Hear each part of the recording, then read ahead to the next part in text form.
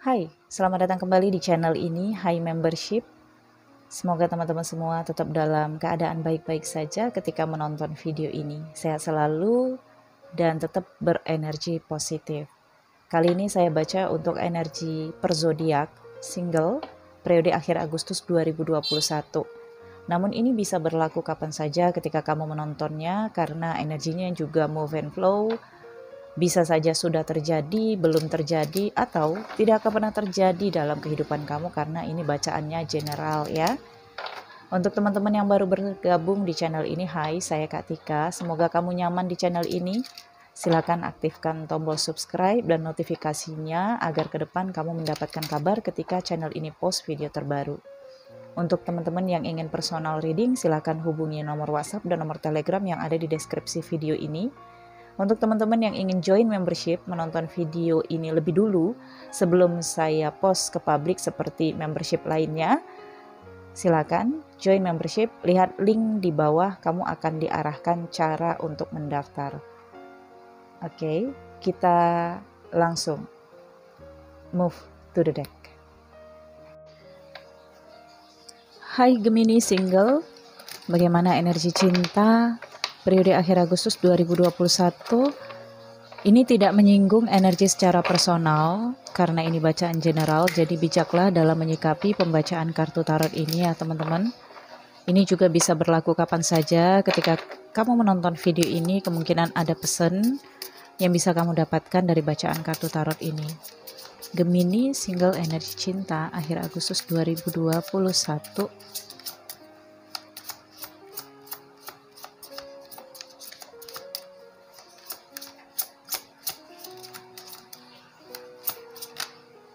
satu kartu di sini star. Kemudian ada encor. Kemudian ada surat atau dokumen ini ya. Kemudian ada awan. Ada situ. Ini benda tajam yang berarti pemutusan. Kemudian ada lady Kemudian ada heart, hati, perasaan, cinta. Ada moon dan ada top. Di bottom of the decknya ada key, kunci. Gemini single karena di sini energi utama kamu kunci artinya memang kamulah yang bisa mengendalikan diri kamu, kamulah yang bisa memimpin diri kamu Kamulah kunci dari segala situasi kamu saat ini. Di masa sebelumnya saya lihat ada bintang, kemudian ada uh, tambatan di sini dan kemudian ada surat. Sepertinya ada Gemini di masa sebelumnya singlenya ini karena perceraian, karena situasi yang memang sudah tidak bisa lagi dikendalikan dan ada keinginan kamu di masa sebelumnya lebih baik bercerai karena di sini kamu memiliki tujuan hidup yang lain. Kamu sudah bisa melihat bahwa ada hal-hal yang harus kamu lakukan dalam kehidupan kamu selain daripada berada di dalam hubungan yang membuat kamu di sini tidak bisa menggapai impian. Jadi di sini ada letter, mungkin kamu situasinya saat ini masih dalam situasi penyelesaian dokumen ada sebagian Gemini juga yang berada di luar negeri atau luar kota dari tempat kampung halamannya yang saat ini sedang mengurus dokumen-dokumen penting untuk pulang atau memang walaupun kamu berada di kota yang lain atau di negara yang lain kamu mengurus dokumen-dokumen penting legalitas kamu di sini dari virtual. Jadi kamu bisa saja di sini menggunakan jasa lawyer ya untuk ngurusin segala administrasinya, persidangannya, atau dokumen-dokumen dan legalitasnya kamu di sini ya. Karena di sini saya lihat kamu nggak mau kembali juga ya kepada pasangan kamu karena di sini kamu sudah punya impian. Nah di sini energi kamu sih ya, jadi kamu benar-benar yang mengambil keputusan di sini. Ada clothes dan ada lady. Masih belum jelas sih ke depannya bagaimana situasi statusnya kamu karena di sini sepertinya dipersulit ya oleh mantannya kamu atau seseorang yang memang sudah ingin kamu putuskan di sini. Ada hal-hal yang menghambat yaitu ya dia seperti tidak bekerja sama supaya bisa lancar ya. Artinya memang ada hal-hal di sini yang secara pribadi antara kamu dengan dia memang belum selesai. Dia menganggap belum selesai walaupun kamu di sini menganggapnya sudah selesai ya. Di sini ada kartu lady ya. Mungkin ada juga sebagian Gemini yang dipujuk oleh ibunya atau ibu dari pasangannya ya supaya tidak memutuskan supaya mempertimbangkan tapi sepertinya di sini Gemini mengabaikan karena Gemini di sini punya pandangan ke depan untuk perasaannya, cintanya dan juga untuk situasi kehidupannya ke depan. Walau dia tahu bahwa di kemudian hari mungkin tidak ada yang bisa menjamin masa depannya bisa mendapatkan pasangan yang lebih baik, tapi dia di sini dengan kartu dog dan juga heart dia yakin terhadap dirinya, dia yakin terhadap cintanya. Saya lihat Gemini di sini di masa yang akan datang akan lebih menarik diri ya dari sosial, lebih fokus di sini pada intuisi batinnya, pada dirinya.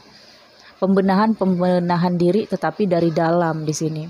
Dan ada hurt ya, ada situasi Gemini yang memang langsung membuka hati. Kalau memang di sini ada teman yang baru atau seseorang yang muncul di sini dalam menawarkan perasaannya Gemini sepertinya siap menerima di sini ya. Sudah siap menerima tapi dengan pengalaman ini saya lihat memang Gemini lebih fokus pada masalahnya dulu, selesai dulu masalahnya ini dengan seseorang dari masa lalunya baru dia benar-benar meyakinkan untuk melangkah ke jenjang yang serius ya. Jadi situasi 15 hari ke depan ini Gemini sih masih membuka diri untuk menerima pertemanan atau perkenalan. Namun kalau untuk lebih dalam hubungannya eh, mungkin Gemini di sini belum ingin terlalu dalam ya, masih ingin menjadi teman saja di sini ya. Oke. Saya lihat juga di sini Gemini banyak melakukan komunikasi virtual ya dengan teman-temannya atau dengan perkenalan-perkenalan baru di sini. Oke. Ini situasi Gemini masa transisi ya, masa uh, seperti menyeberangi jembatan kehidupannya dan menuju kehidupan yang baru. Jadi kalau memang keputusan sudah diambil, ya maju terus ya. Kalau di sini kamu bimbang hanya karena orang-orang yang menghambat, pikirkan lagi impian kamu, oke? Okay? Tentunya setiap orang pasti beda permasalahannya ya. Tapi kalau kamu sudah sampai di titik ini, saya sih lihatnya kamu sudah benar-benar kekeh hatinya. Oke, saya lihat ya uh, problem solvingnya untuk Gemini single.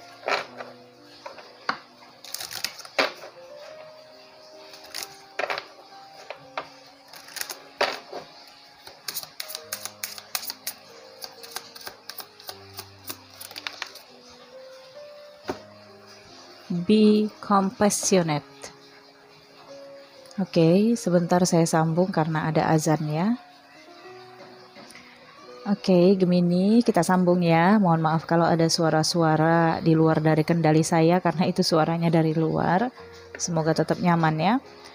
Ada be compassionate. Di sini berbelas kasih. Jadi Memang segala apa pun yang Gemini lakukan pada periode ini membutuhkan rasa belas kasih, rasa empati. Lebih merasakan apa yang orang lain rasakan daripada apa yang Gemini rasakan. Ini ada dua sisi. Satu sisi bisa menguntungkan, tapi satu sisi bisa merugikan diri Gemini ya. Tapi kalau saya lihat sih Gemini memang melakukan hal-hal yang dia lakukan saat ini karena memang ingin mengasihi dirinya sendiri. Oke. Okay.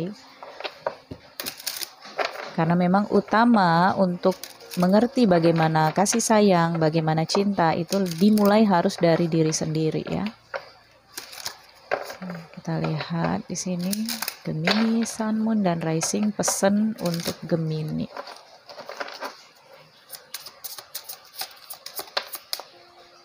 Satu kartu make a wish.